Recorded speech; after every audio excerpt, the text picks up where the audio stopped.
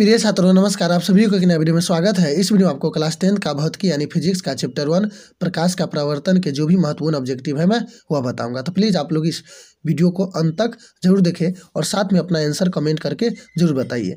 ठीक है? तो चलिए स्टार्ट करते हैं। फ़र्स्ट क्वेश्चन है, क्या समतल दर्पण में बने प्रतिबिंब को पर्दे पर उतार सकते हैं? ऑप्शन ए हाँ। बी नहीं। सी निश्चित तौर पर कहना कठिन है। और डी परिस्थितियों पर निर्भर करेगा। तो देखिए, आपको पता होना चाहिए, अगर आप पढ़े हैं प्रकाश का प्रवर्तन तो इसका ऑप्शन बी सही होगा। नहीं, ठीक है? क्वेश्चन नंबर दो है प्रावर्तक सतह की सूक्ष्मदर्शी संरचना यदि समरूप न हो तो कैसा प्रवर्तन होगा? नियमिति, अनियमिति, विस्तृत प्रावर्तन नहीं होगा। ठीक है? तो ऑप्शन दो के आप लोग कमेंट कीजिए दो का ऑप्शन कमेंट कीजिए। तो देखिए, दो का ऑप्शन सी सही होगा, विस्तृत। कौन सही होगा? सी क्वेश्चन नंबर तीन है, विस्तृत परावर्तन में प्रावर्तन के नियमों को पालन। होता है, नहीं होता है, कभी होता है, कभी नहीं होता है, प्रावर्तन ही नहीं होता है। बताइए तीन के कमेंट करके। तो देखिए, तीन के ऑप्शन ए होता है, ठीक है? ऑप्शन ए होगा। क्वेश्चन नंबर चार है, उत्तल दर्पण प्रावर्तक सतह पर लंबत गिरती किरणें फोकस पर। अभिसारित होती है अपसरित होती है, समानांतर हो जाती है अपसरित होती लगती है। बताइए इसका कौन सही होगा? तो देखिए, इसका ऑप्शन सी सही होगा, समानांतर हो जाती है। क्वेश्चन नंबर पाँच है, किसी दर्पण पर, दर्पण में वास्तविक प्रतिबिंब नहीं बन सकता है। समतल दर्पण में, अवतल दर्पण में, समतल तथा अवतल दर्पण में, सभी दर्पण में वास्तविक प्रतिबिंब बन सकता है। पाँच लोग के आप लोग कमेंट करके बताइए। तो देखिए, इसका ऑप्शन आपको ए सही होगा। ठीक? क्वेश्चन नंबर छः है, दंत विशेषज्ञ किस दर्पण का उपयोग मरीजों के दांत के बड़ा प्रतिबिंब देखने के लिए करता है? समतल दर्पण, अवतल दर्पण, उत्तल दर्पण, इनमें से सभी। आप लोग कमेंट करके बताइए। तो देखिए, छठा के आंसर होगा आपको बी, अवतल दर्पण। क्वेश्चन नंबर सात है, यदि किसी बिंब का प्रतिबिंब का आवर्धन ऋणात्मक है तो उसकी प्रतिबिंब की प्रकृति क्या होगी? वास्तविक और उल्टा, वास्तविक और सीधा, आभासी और सीधा, आभासी और उल्टा। बताइए सात के कमेंट करके कौन सही होगा? तो देखिए, सात का ए सही होगा, वास्तविक और उल्टा। आप कमेंट पे ध्यान कम दीजिएगा और लास्ट में मैं टोटल बताइएगा कि टोटल क्वेश्चन में आपको कितना क्वेश्चन सही हुआ। ठीक है? क्वेश्चन नंबर आठ है। निम्नलिखित में कौन उत्तल दर्पण की फोकस दूरी है, जिसकी वक्रता त्रिज्या बत्तीस सेंटीमीटर है? तो आप पढ़े हैं तो एक बात ध्यान में रखिएगा कि अवतल दर्पण की फोकस दूरी वक्रता त्रिज्या की आधी होती है। तो इसमें वक्रता त्रिज्या कितना है? बत्तीस सेंटीमीटर है। तो इसका फोकस फोकस दूरी कितना होगी? आप लोग हमें कमेंट करके बताइए। आठ का ऑप्शन कौन सही होगा? तो सी सही होगा, आपको पता होगा कि प्लस सोलह सेंटीमीटर।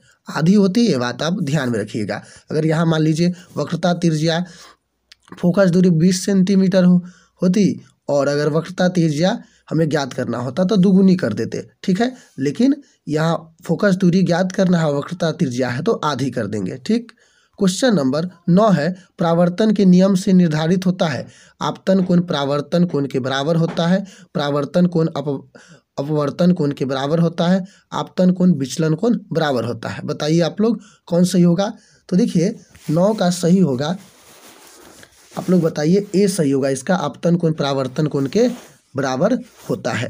क्वेश्चन नंबर दस है, हवा निर्वात में प्रकाश की चाल होती है। थ्री गुने टेन पर पावर एट मीटर प्रति सेकेंड और बी है थ्री गुने टेन पर पावर एट सेंटीमीटर प्रति सेकेंड और सी है थ्री गुने टेन पर पावर एट किलोमीटर प्रति सेकेंड देखिए, इसका आंसर यही है तो आगे देखने की ज़रूरत नहीं है। इसका एक यही आंसर है थ्री गुने टेन पर पावर एट मीटर प्रति सेकेंड क्वेश्चन नंबर ग्यारह है, प्रकाश के प्रावर्तन के कितने नियम हैं? एक, दो, तीन, चार। बताइए कमेंट करके। तो प्रकाश के प्रावर्तन के दो नियम हैं, ठीक? क्वेश्चन नंबर बारह है, किस दर्पण में बड़ा प्रतिबिंब बनता है? समतल में, अवतल में, उत्तल में, इनमें से कोई नहीं। तो इसका आंसर बी सही होगा, अवतल दर्पण। कौन सही होगा? बी क्वेश्चन नंबर तेरह है, गोलीय दर्पण में फोकासंतर एवं वक्रता त्रिज्या के बीच संबंध है। आर बराबर टू आर, एफ़ बराबर आर, एफ़ बराबर आर बटे टू, आर बराबर एफ़ बटे टू। बताइए आप लोग कमेंट करके।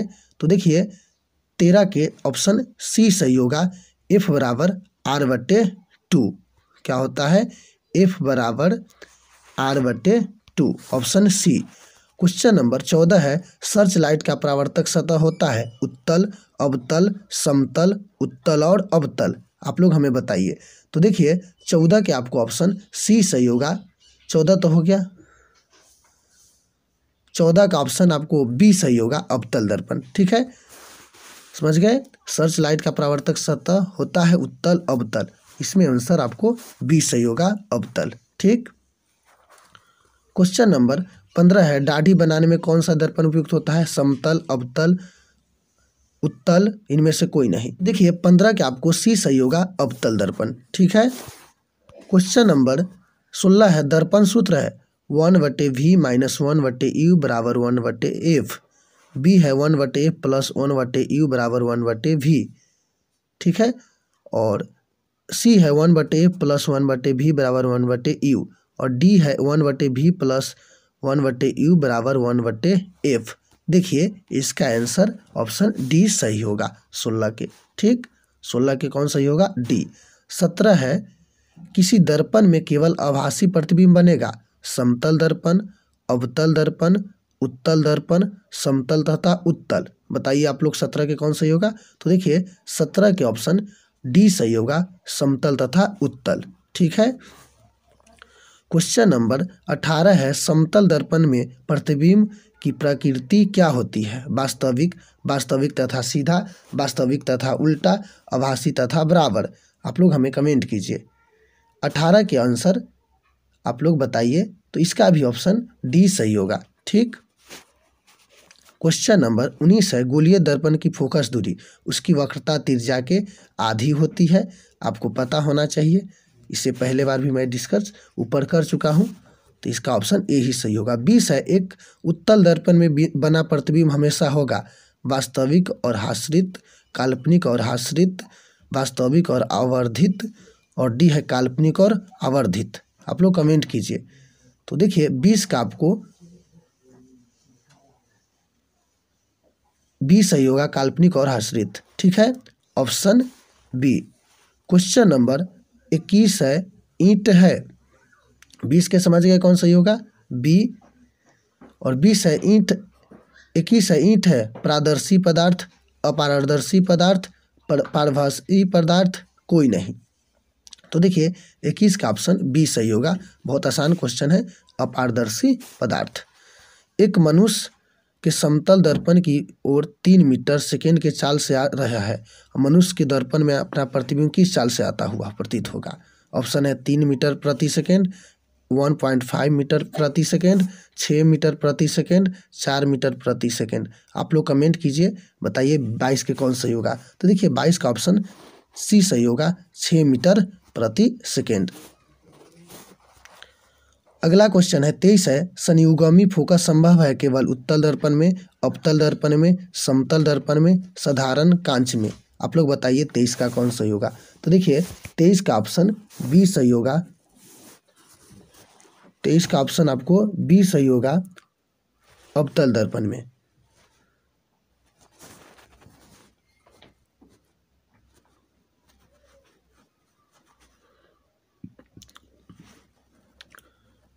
क्वेश्चन नंबर तेईस का आपको आंसर पता हो गया, कौन होगा? बी अवतल दर्पण। क्वेश्चन नंबर चौबीस एक दर्पण की फोकस दूरी बीस सेंटीमीटर तो इसका वक्रता त्रिज्या कितना होगी? तो आपको बताया बीस दूना चालीस सेंटीमीटर ऑप्शन इसका डी सही होगा। ठीक? क्वेश्चन नंबर पच्चीस है।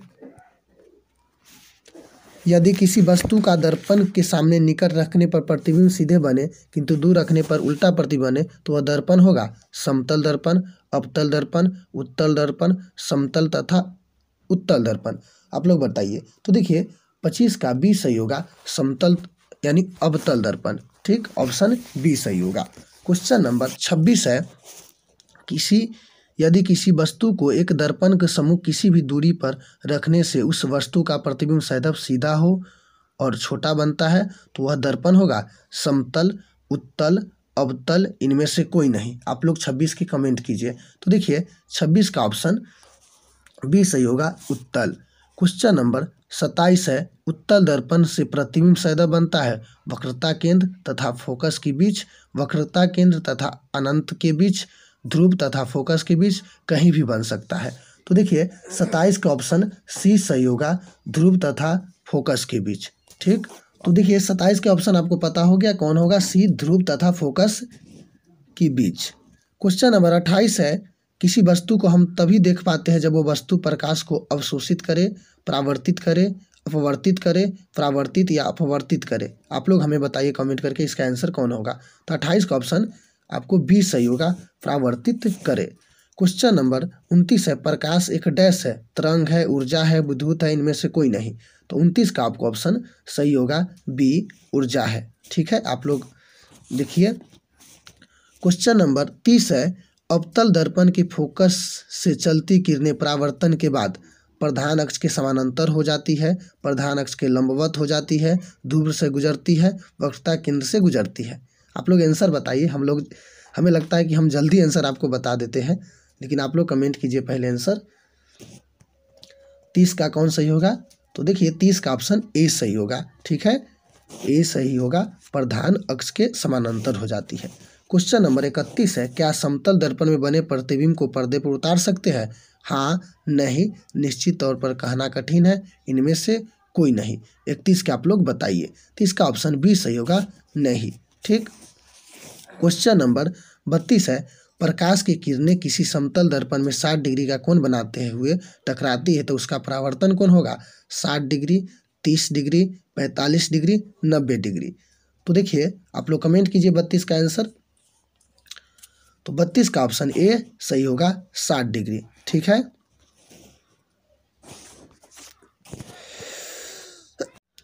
क्वेश्चन नंबर तैतीस है। समतल दर्पण से किसी वस्तु का प्रतिबिंब वास्तविक बनता है, आभासी बनता है, बड़ा बनता है, छोटा बनता है। तो तैतीस के बताइए। तो देखिए, तैतीस का आपको ऑप्शन बी सही होगा आभासी या काल्पनिक कह सकते हैं। ठीक है? चौंतीस है, किसी वस्तु का अवतल दर्पण द्वारा बने प्रतिबिंब आभासी, सीधे तथा वस्तु से बड़ा पाया गया तो वस्तु स्थित कहाँ होनी चाहिए? मुख्य पोखर तथा वक्रता केंद्र के बीच, वक्रता केंद्र के बीच, वक्रता केंद्र से परे और दर्पण के ध्रुव तथा मुख्य फोकस के बीच। तो देखिए, चौंतीस का आपको ऑप्शन डी सही होगा। दर्पण के ध्रुव तथा मुख्य फोकस के बीच। क्वेश्चन नंबर पैंतीस है, निम्नलिखित में किस दर्पण द्वारा किसी वस्तु का प्रतिबिंब मिल सकता है? उत्तल दर्पण द्वारा, समतल दर्पण द्वारा, अवतल दर्पण द्वारा, इनमें से कोई नहीं। तो देखिए, पैंतीस का आपको ऑप्शन सी सही होगा, अवतल दर्पण द्वारा। क्वेश्चन नंबर छत्तीस है, उत्तल दर्पण बना प्रतिबिंब होता है, हमेशा सीधा, हमेशा उल्टा, सीधा भी और उल्टा भी, इनमें से सभी गलत है। तो देखिए छत्तीस का आपको ऑप्शन ए सही होगा, हमेशा सीधा, ठीक? क्वेश्चन नंबर सैंतीस है, जिन पदार्थ से होकर प्रकाश पूर्ण रूपेण गमन निकल जाते हैं उससे कहते हैं प्रावासी पदार्थ, छाया, अपारदर्शी पदार्थ, प्रादर्शी पदार्थ। आप लोग बताइए। संत सैंतीस के कौन सही होगा काफ़ी आसान क्वेश्चन है? तो देखिए, सैंतीस के आपको ऑप्शन डी सही होगा पारदर्शी पदार्थ। तो क्वेश्चन नंबर अड़तीस है गोलीय दर्पण द्वारा बने प्रतिबिंब का आवर्धन ऋणात्मक हो तो प्राप्त प्रतिबिंब उल्टा होगा, सीधा होगा। तो देखिए, अड़तीस का आपको ऑप्शन ए ही सही होगा। तो आगे पढ़ने की ज़रूरत नहीं है कि उल्टा होगा। कैसा होगा? उल्टा। ठीक है? क्वेश्चन नंबर उनचालीस है, प्रकाश जिस सतह से टकराकर अपने ही माध्यम में लौटती है, उसे हम कहते हैं प्रावर्तन, प्रावर्तक सतह, अपवर्तक सतह, अपवर्तित सतह। बताइए उनचालीस के कौन सही होगा? तो देखिए, उनचास के बी सही होगा, प्रावर्तक सतह। ठीक है? क्वेश्चन नंबर चालीस है, सोलर कुकर में व्यवहार किया जाता है। अवतल दर्पण का, उत्तल दर्पण का, समतल दर्पण का, परवलिक दर्पण का। बताइए चालीस का कौन सही होगा? तो देखिए, चालीस का आपको ए सही होगा, अवतल दर्पण का। क्वेश्चन नंबर इकतालीस है, अवतल लेंस की आवर्धन होता है। यू बटे भी यू भी यू प्लस भी यू भी बटे यू देखिए, इसका आंसर आपको बी सही होगा यू भी यू इंटू भी। ठीक? क्वेश्चन नंबर बयालीस है। प्रकाश की किरण गमी गमन करती है। सीधी रेखा में, टेढ़ी रेखा में, किसी भी दिशा में, उपयुक्त सभी। तो बयालीस के आपको ऑप्शन ए सही होगा, सीधी रेखा में। नंबर तैतालीस है। आपतित किरण अभिलंब के साथ आपतन बिंदु पर जो कोण बनती है, वह कहलाता है आपतन कोण, प्रावर्तन कोण अभिलंब प्रतिबिंब। बताइए तैतालीस के कौन सही होगा? तो देखिए तैतालीस के ऑप्शन ए सही होगा, आपतन कोण। ठीक है? क्वेश्चन नंबर चौवालीस है। काल्पनिक प्रतिबिंब हमेशा सीधा होता है औंध होता है, उल्टा होता है, तिरछा होता है। बताइए चौवालीस का कौन सही होगा तो देखिए, चौवालीस के ए सही होगा सीधा। क्वेश्चन नंबर समतल दर्पण में प्रतिबिंब का आवर्धन होता है। पैंतालीस है। क्वेश्चन नंबर समतल दर्पण में प्रतिबिंब का आवर्धन होता है। एक से कम, एक से ज़्यादा, एक के बराबर शून्य। तो देखिए पैंतालीस का आपको ऑप्शन सी सही होगा, एक के बराबर। क्वेश्चन नंबर छियालीस है, उत्तल दर्पण में प्रावर्तक सतह पर लंबत गिनती किरणें गिरती किरणें फोकस पर अभिसारित होता है, अपसरित होती है, समानांतर हो जाती है, अपसरित होती लगती है। बताइए छियालीस के कौन सही होगा? तो देखिए, छियालीस का आपको ऑप्शन डी सही होगा, अपसरित होने लगती है। ठीक है? Option D. क्वेश्चन नंबर सैतालीस है। गोलीय दर्पण में प्रावर्तन के नियम का पालन नहीं होता है। होता है, दर्पण की प्रकृति के अनुसार होता है, वही विस्तृत परि, विसरित प्रावर्तन होता है। तो देखिए, सैतालीस का आपको ऑप्शन बी सही होगा, होता है। ठीक? क्वेश्चन नंबर अड़तालीस है। गोलीय दर्पण में दूरियों को सादा किसके सापेक्ष मापते हैं? ध्रुव के फोकस के, वक्रता केंद्र के, किसी भी नियत बिंदु के। तो देखिए, अड़तालीस का आपको ऑप्शन ए सही होगा, ध्रुव के।